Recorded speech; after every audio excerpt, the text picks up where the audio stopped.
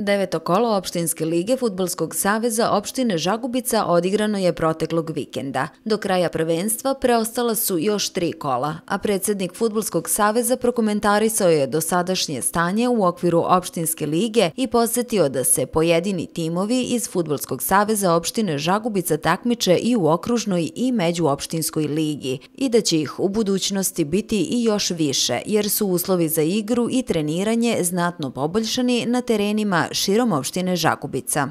Ovog vikenda je u našoj opštini odigrano deveto kolo opštinske futbolske lige koju e, organizuje Futbolski savez opštine Žagubica. E, sve utakmice do sada su, su protekle bez ikakvih problema.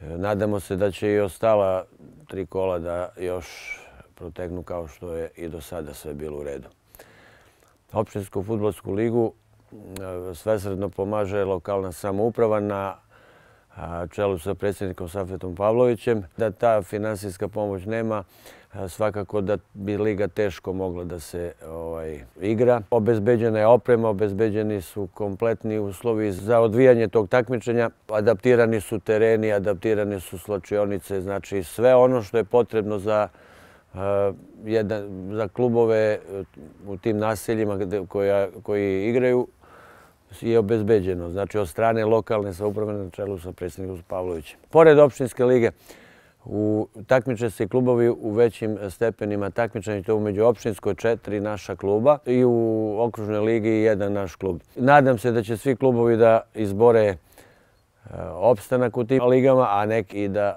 se presele u viši stepen takmičenja. Teo bih još da istaknem da se u Podunavsko-Šumadijskoj ligi pionira takmiči i, i jedna selekcija iz naše opštine, to je e, sportsko-futbolsko udruženje Gornjak, koje se uspešno nosi sa mnogo većim mestima i za sada to sve odlično ide.